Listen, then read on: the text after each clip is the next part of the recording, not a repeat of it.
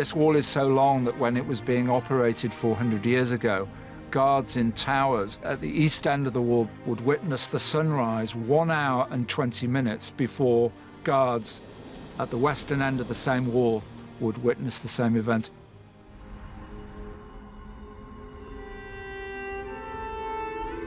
Visitors to China are familiar with the famous brick wall. Built in the 1500s to defend against the Mongol hordes. But its origins started much earlier as sun-baked mud. Terrifying forces drove its creation and explain why and how the Great Wall was first built. We have to go back over 2,200 years and deep into the wilderness to find remnants of the longest wall built to defend ancient China. Only fragments remain.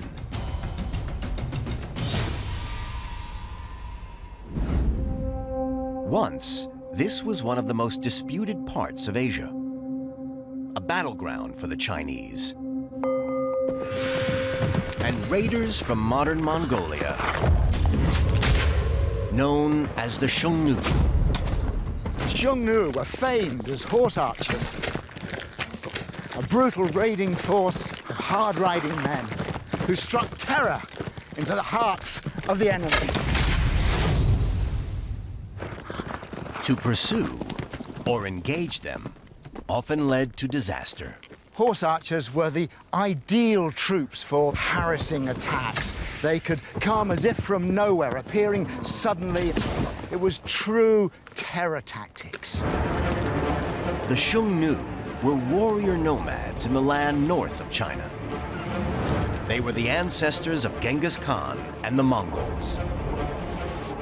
And with their superb mastery of the horse and deadly composite bow, they revolutionized warfare and forced the great Chinese Empire to adopt a radical new strategy. They decided to build a wall, a complex linear fortress. Nomads from the north posed a realistic military threat. Every emperor soon learned that the length of his job would depend on managing the frontier well. But over two millennia ago, how did they make a wall in a desert? This is a replica of the rammed earth wall. It's at once wonderfully simple and yet wonderfully sophisticated. Look at this frame, for instance. The top of the frame allows you perfect alignment to get that wall running exactly where you want it across the landscape. I also use these reeds, so bundles of reeds that were layered in between the rammed earth.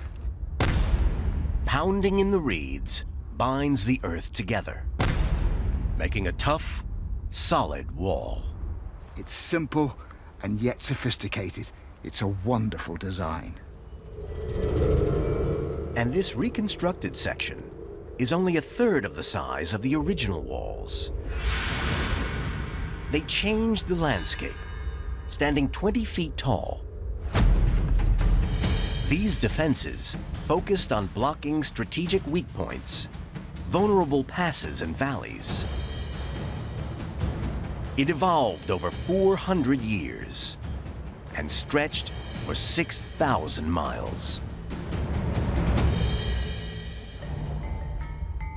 But this wasn't just a simple barrier. It was an entire protection and communications network, expertly designed to resist attack. One of the many defense systems is this perimeter forest of porcupine spikes. Look how unpleasant they are. You'd have to send very brave men in. Attacking troops would have to clear the spikes in order to climb and breach the wall. But while they're being cleared, men up there are shooting down at you.